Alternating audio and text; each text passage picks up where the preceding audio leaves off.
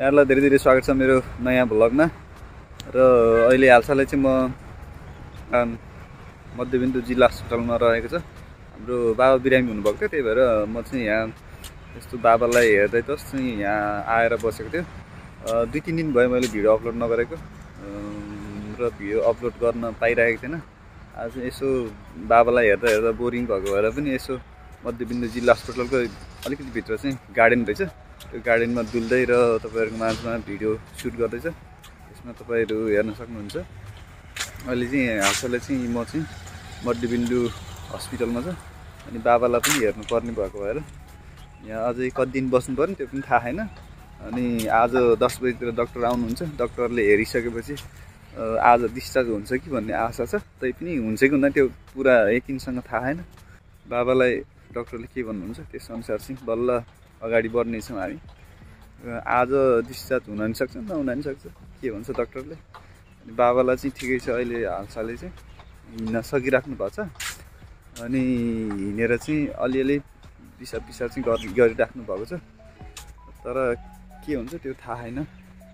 हेर्दै जाऊँ के हुन्छ। अनि र तपाईँहरूको माझमा आज म चाहिँ विशेष के भन्न चाहन्छु भन्दा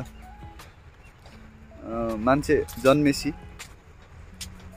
रोग व्याधमा थरी भइराख्ने रहेछ क्या मान्छेको बिरामी हुनु चाहिँ सामान्य कुरो हो। त्यसमा उपचार छिटो पाइराख्यो भने चाहिँ मान्छे चाहिँ उपचार पाइराख्यो भने चाहिँ निको हुन्छ। खासै ठुलो कुरो भएन हामी मान्छेहरू बिरामी भइरहेको छ कसैलाई ठुलो रोग लाग्यो हुन्छ कसैलाई सानो रोग लाग्यो तर ठुलो रोग भए पनि उपचार पाइयो भने चाहिँ हामी मान्छेहरू चाहिँ अहिलेको एडभान्स जमानामा चाहिँ बाँच्न सकिन्छ क्या रोगै लाएर मर्ने अवस्था चाहिँ छैन। हुन त आर्थिक पाटो पनि हुन्छ। आर्थिक पाटोमा पनि भर पर्छ। तर खा अब हामीले चाहिँ सामान्य भयो नि बिमा गरिराखेको थियो। बिमाले हेरिदिँदो रहेछ। अलिकति भयो नि हामीलाई चाहिँ सहुलियत भयो भनौँ। स्वास्थ्य बिमा गरिराखेको थियो। अनि स्वास्थ्य बिमा गरिराखेको थियो। त्यो त्यसले चाहिँ बिमाले चाहिँ हेरिदिनु रहेछ। लगभग हाम्रो अलिअलि खर्च चाहिँ भएछ तर अलिअलि खर्चले चाहिँ हामीलाई धेरै नै सास फेर्नलाई चाहिँ सहज हुँदो रहेछ। अनि त्यस्तो रहेछ। अनि हामीले चाहिँ बिमा गरिराखेको छौँ तर बाबा र मम्मीहरूलाई चाहिँ अलिक उमेर भइसकेको भएर पचास वर्षभन्दा माथिकोहरूलाई चाहिँ बिमा गर्न नमिल्दो रहेछ। त्यही भएर चाहिँ हाम्रो चाहिँ बिमा छ तर बाबा र मम्मीको चाहिँ बिमा थिएन। अनि बाबा र मम्मीलाई चाहिँ हाम्रो सबैको गरेर चाहिँ स्वास्थ्य बिमा गराइराखेको छ। त्यो स्वास्थ्य बिमाले चाहिँ हेर्दो रहेछ। आज मैले थाहा पायो स्वास्थ्य बिमा गरिरहेको छ। स्वास्थ्य बिमाले चाहिँ हाम्रो बाबालाई चाहिँ यो पर दुःख पर्दाखेरि चाहिँ हेरिदियो। त्यसमा मलाई चाहिँ एकदम खुसी छ। खुसी पनि छ। त्यो कुरा चाहिँ त्यही भएर हजुरहरू पनि बिमा गर्नु छैन भने बिमा गरिराख्नु राम्रो हुनेरहेछ बिमाले एक जीवनलाई चाहिँ यसो आर्थिक पाटोमा चाहिँ सहायता गर्छ। त्यसको लागि पनि तपाईँहरू पनि बिमा गरिराख्नु। बिमाले एकदम राम्रो हुँदो रहेछ। हामीलाई चाहिँ जुन खर्च हुनुपर्ने थियो नि अहिले जुन हाम्रो बाबा बिरामी हुँदाखेरि। हाम्रो बाबाको चाहिँ खास एपेन्डिक्सको अपरेसन गरेको हो। त्यो एपेन्डिक्सको अपरेसन गर्नलाई चाहिँ लगभग साठीदेखि सत्तरी हजार त्यस्तो खर्च हुँदो रहेछ। र बिमाले गरेर चाहिँ हाम्रो चाहिँ अलिक कममा पनि भयो। अनि यहाँ बहिनी भएको भएर पनि अलिक सजिलो चाहिँ हामीलाई भएको हो। सजिलो पनि भयो। हाम्रो बहिनीले चाहिँ यताउता ट्याकटुक चाँजो पाँजो मिलाइदियो। हामीलाई चाहिँ सहज भयो भनौँ न। सहज भयो। हाम्रो बहिनी यहाँ काम गर्नुहुन्छ त्यही भएर बुहारी नानी चाहिँ काम गर्नुहुन्छ। बुहारी नानीले यताउता मिलाइदिएर हामीलाई पनि धेरै सहज भयो। र तपाईँहरू माझमा पनि आजको भ्लगमा चाहिँ म त्यही देखाउने छु हजुरहरू पनि बिमा गरेको छैन भने चाहिँ बिमा गर्दा राम्रो है। साथीहरू बिमा मान्छेको जीवन हो। कहिले के हुन्छ त्यो चाहिँ हामीलाई थाहा हुँदैन। अनि हामी मानव भएको कारण चाहिँ हरेक समय हामी बिरामी हुनसक्छ क्या।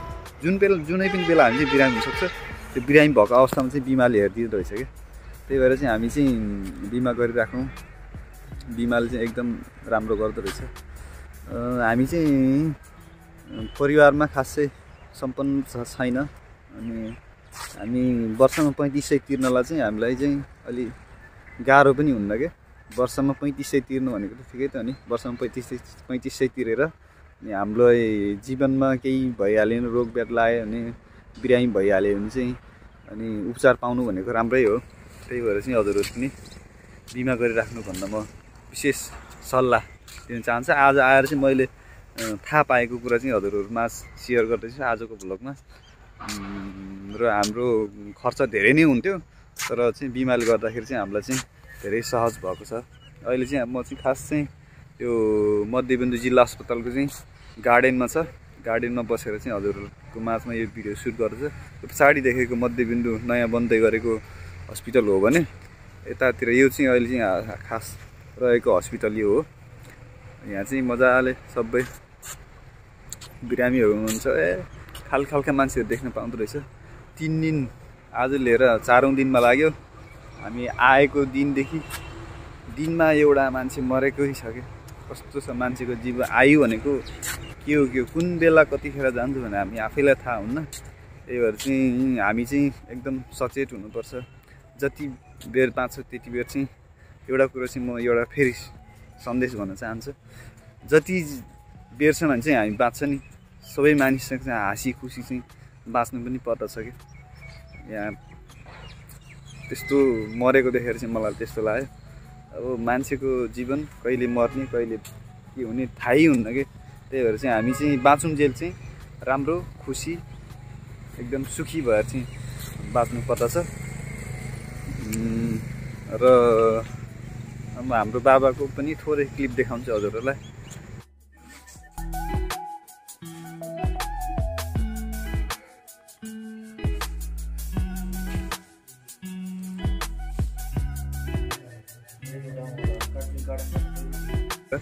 लाइक कमेन्ट सेयर पनि गरिदिनु होला। ल अब आजको भ्लगलाई यतिकै अन्तिम गर्नेछु र म धेरै भिडियो पनि धेरै लामो नगरौँ अनि बाबालाई पनि हेर्नुपर्ने छ र म अहिले भिडियोलाई बन्द गर्नेछु। सबैले लाइक कमेन्ट सेयर गरिदिनु होला। धन्यवाद। By by